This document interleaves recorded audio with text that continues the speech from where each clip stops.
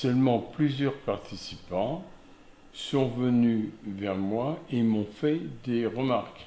Alors je suis une sorte de, euh, de catalyseur, si tu veux. Et je un confesseur, je dirais. Oui, enfin un confesseur. Pas un confesseur méchant avec une baguette, mais un confesseur.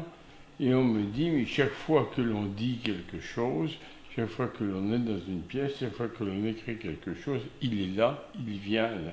Bon, c'est ce que l'on me dit, c'est ce que l'on me rapporte, voilà.